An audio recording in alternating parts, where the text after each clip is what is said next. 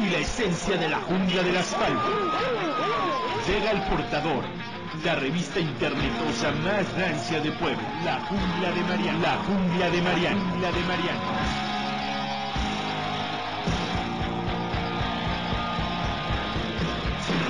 Agudiza tu sen, agudiza tu sen y sumérgete en la jungla de Mariana, la jungla de Mariana.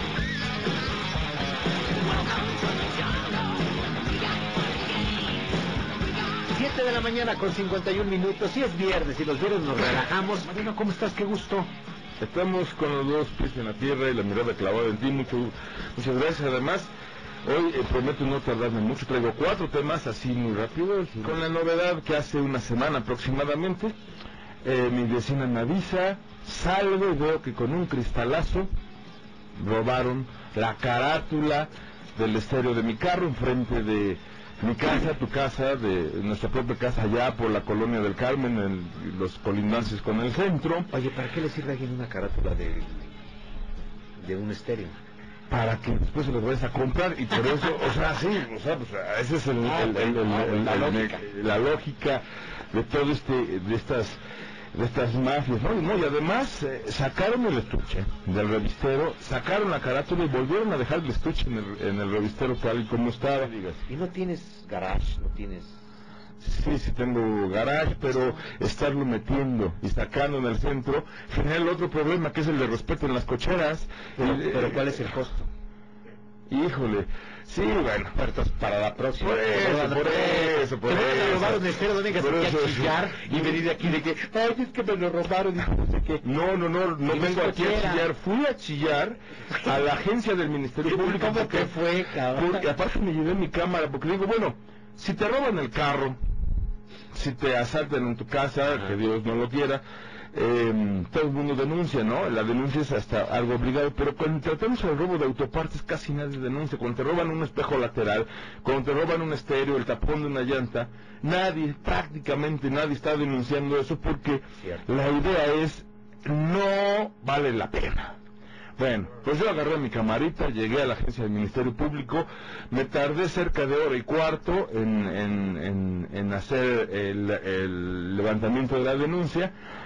Se sacaron mucho de onda porque era yo mi cámara y ya eso lo veremos más adelante en uno de los videos de la jungla de Mariano. Aquí tengo incluso la denuncia que es... eh, bueno, aquí está la denuncia, la traigo aquí físicamente, porque a final de cuentas esto nos debe servir como reflexión de que realmente vale la pena denunciar eh, si no hacemos algo, si no empezamos los ciudadanos por nosotros mismos a además de tomar precauciones, además de exigirle a la policía que haga su labor, pero nosotros no vamos y denunciamos, la autoridad nunca le va a dar seguimiento. Y lo peor, si después de que nos roban el espejo lateral o el tapón vamos a la 46 o a los mercados negros, de los pasillos oscuros, de los mercados donde se venden cosas robadas, lo único que estamos haciendo es estar fomentando y que nadie pueda parar, porque nadie denuncia, todo el mundo compra en los eh, mercados Es un círculo negros. vicioso, ¿no? Es un círculo vicioso y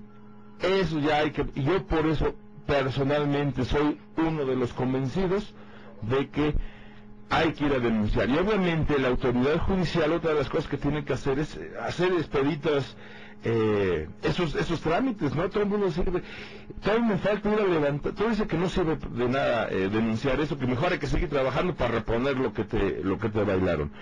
Yo digo, bueno, sí hay que seguir trabajando, pero también hay que ir, ir a denunciar y eh, la autoridad la autoridad judicial pues tiene que hacer darte todas las facilidades eh, reducir los tiempos de atención etcétera porque si no no vamos eh, a, a- lograr resultados. Debe atrapar bandas de, que- de, de- de robos de autopartes. Fíjate que frente al fenómeno del robo de autopartes, hoy ya las aseguradoras, por ejemplo, cuando tú sacas un vehículo, por supuesto del año, ya te están incluyendo las de la propia agencia un seguro contra autopartes, contra llantas, este, absolutamente con todo. Tú sacas el vehículo Así y a los ocho a los ocho días te hablan, te vienen de la agencia y te dicen dónde está su vehículo.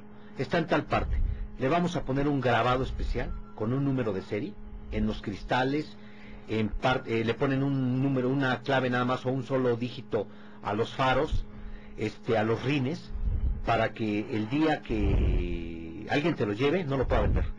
Así es, incluso hay modelos de autos que ya te reponen Así es, gratuitamente así es, la refacción para que no tengas que ir a recurrir a- eh, al mercado Sí, negro. pero qué grueso de la población tiene la pa- capacidad Tiene económica para tener un carro de un carro del año y bueno pues este el grueso finalmente pues es víctima del robo hormiga de las autopartes. Bueno, lo que vamos a hacer es tratar de comprobar que realmente, yo creo que vale la pena denunciar.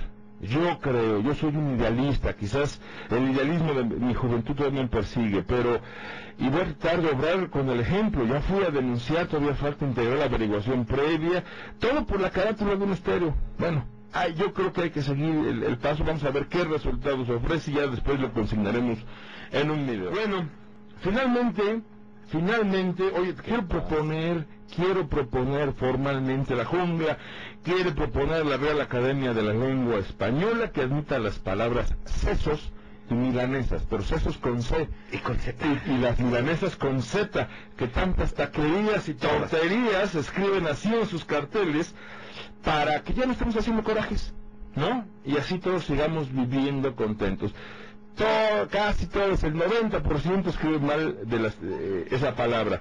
Así que si podemos hacer la torta de milanesa con Z, como diría algún célebre político, ¿para qué la hacemos de pera? Yo, recomendaciones jungleras, rápidamente en 30 segundos. Tamales de pasote te recomiendo. Son un, un excelente desayuno para un domingo cualquiera. Tamales de pasote. Los mejores en Temaxcali, no hay otros. Eh, eh, los tamales de pasote son más raros incluso que los jarochos. Pero mira tu tamalera o vea donde los venden y vas a ver Temaxcali. que me vas a dar. Oye, vi la película Extremely, Extremely Loud and Incredibly Close. Sí, ah, es un peliculón, ¿eh? Corran a verla. Es eh, que traducida en español es tan fuerte y tan cerca. Ya sabemos que no eh, la traducen como se les hincha la gana. Pero es al final de cuentas una eh, estremecedora historia de amor narrada de la manera más anticonvencional posible en el entorno de la- el drama que fue las- el, el- el ataque a las Torres Gemelas. Corran a verla. Pues Mariano, gracias. El IFE nos separa, nos separa. Nos separa y nos separa. Y, y, y, y- Y si no pasamos al IFE, nos multan. Vamos. Síguenos en el Twitter, arroba al portador, arroba alimondras. Regresamos.